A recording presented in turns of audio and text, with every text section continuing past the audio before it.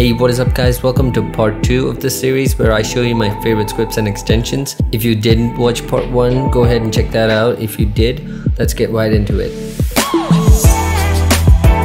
Mobar is a really cool time saving tool and it's sort of similar to the extension called Mammograph but personally I think this one is better.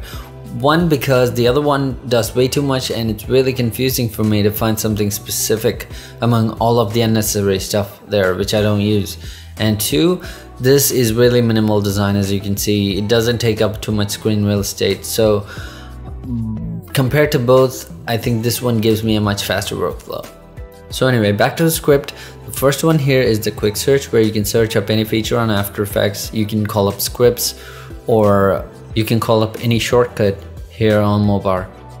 This one's my favorite because you only need to open up scripts when you need them for example, Text Evo is something I use only occasionally, so I can call it up right here. And I don't have to go through a list to find the script that I need. For the ones that I do need, I have them docked right here and I can use the scroll wheel to cycle between them. I'll talk about these later in the video, so back to the script.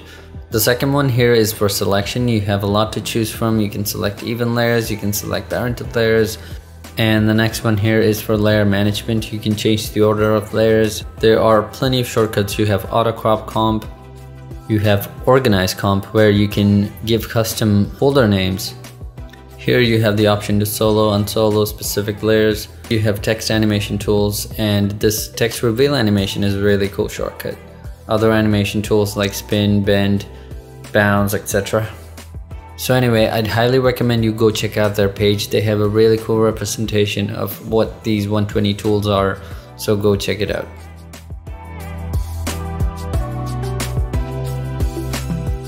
Puppet Tools 3 is a really easy script to use to create a rig or an IK chain. All I have to do is make pins on these joints and click on create controllers. The script will then convert these pins to nulls which you can use to animate or you can parent them based on layer structure and click on create IK.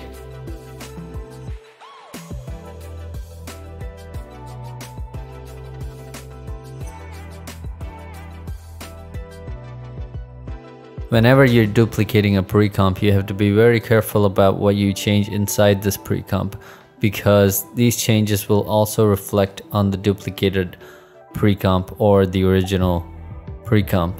So if you're looking to make unique changes inside this duplicated pre-comp, you know there's a process involved and you have to duplicate the layer source inside the project and then bring that pre-comp into the timeline. Also notice that the scaling and other attributes would be different unlike when you duplicate them. So this is where true layer Duplicator comes in. I have this button on K-bar to run the TrueLayer duplicator script. Now what I can do is go inside this precomp and change anything that I want. Even if there are precomps inside this precomp, what TrueLayer duplicator does is that it duplicates any precomps inside this precomp as well at the source level. So you don't have to worry about your changes affecting any other precomps or anything.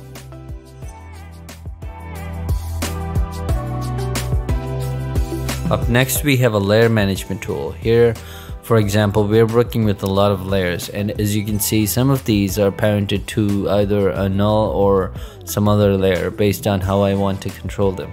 So having to go through all of these layers is a bit of a headache. So let's open up Squirrel and now you can see we have a toggle list for all the parented layers. So you basically get a holistic view of all the layers in your timeline what you would otherwise nest in a pre-comp here we have a toggle list.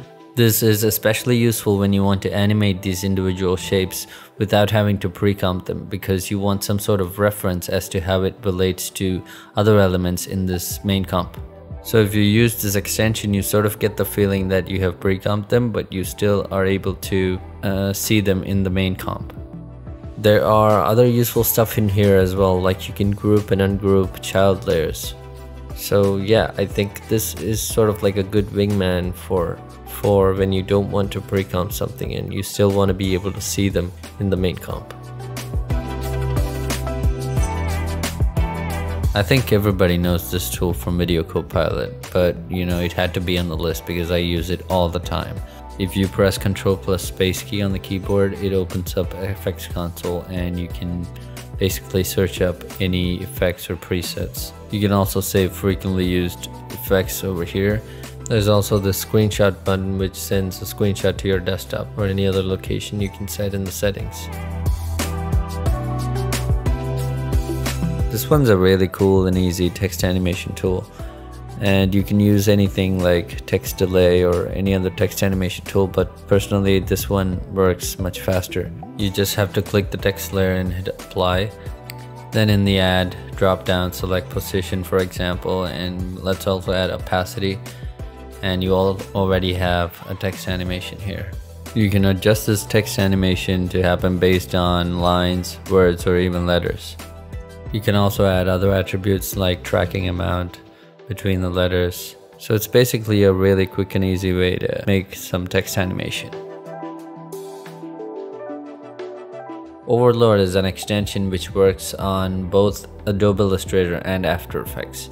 You can use this to quickly transfer uh, vector layers from into After Effects or Illustrator. This one's really helpful when you just have to select specific vector layers and only transfer them rather than to have go through the process of saving the Illustrator file and converting them to shapes and then deleting the ones that you don't need.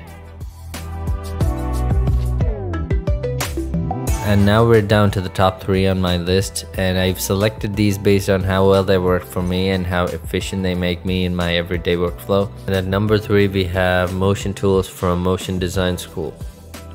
Here you can enter custom value to set custom easing. You can snap anchor points with this one. And now I'm just gonna set two keyframes here and add sort of this elastic effect on this keyframe. And you can see that the effect has been applied. You also have an effect for bounds.